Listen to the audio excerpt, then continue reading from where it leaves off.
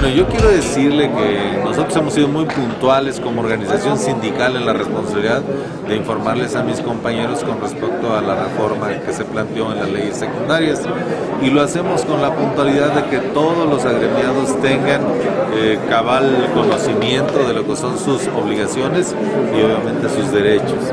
a todo aquel compañero que ya lo sabemos desde antes de que iniciamos a trabajar, que cuando uno tiene una falta injustificada, pues se hará acreedor no nada más a un descuento, sino también a una llamada de atención, sea por escrito de manera verbal, de acuerdo al reglamento, pero que también reconocemos que hay compañeros que en esa idea, no sé, contraria a la propia reforma lo quieren manifestar, no realizando clases, creo que entra en una responsabilidad de orden administrativo y personal. Nosotros con mucha puntualidad les hemos dicho